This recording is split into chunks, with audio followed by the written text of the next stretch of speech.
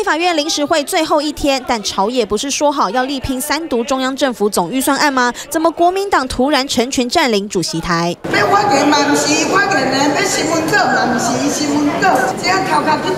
直接气到在议场内大吼，骂的还是同党立委，蓝绿都爆气。正因几小时前郭国文这样说：辅导现实食品的这个解禁问题，我个人认为不宜再拖，希望在过年前呢，给国人一个礼物啦。喊着要即日解禁辅导食品，党内第一时间就炸锅，传出邱意莹先骂郭国文是猪队友，要他出来面对。郭国文回已跟党团说明，邱意莹继续骂何志伟插话，迟早要面对，还被呛闭嘴啦。原来明明行政院才挂保证说年前没有进口福岛食品的时程，郭国文这一招真的吓坏党内。呃，我们真的是吓到了哈，因为呃，我们一直认为那是他个人的一个说法跟呼吁，而国民党认为民进党意图玩两面手法，决议杯阁总预算，眼看临时会卡关，正年还要过吗？柯建明低头了，造成了整个议事延宕。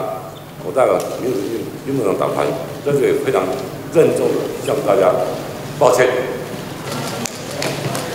深深一鞠躬还不够，行政院发言人罗秉成再澄清，对于可能在下班突然宣布开放日本核实等，纯属臆测，并非事实。郭国文也剖文说是个人一向的看法，时间文字拿捏分寸，造成如此风波，始料未及，深表遗憾及不好意思，三度致意，也才让总预算表决继续进行，预计在二十八号下午顺利三读。立委们历经水深火热，郭国文口中的礼物。变成惊吓。TVB 的新闻，陈胜文、刘立成、李怡婷，SNU 小组台北采访报道。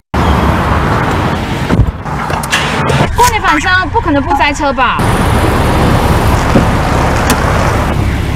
就靠免塞神器 TVB 的新闻 App，地雷路段紫爆没，一目了然。快避开，指定公里处塞车状况，这边没塞，随选随看最新新闻，同时及时掌握。过年返乡不卡卡，快下载 TVB 的新闻 App。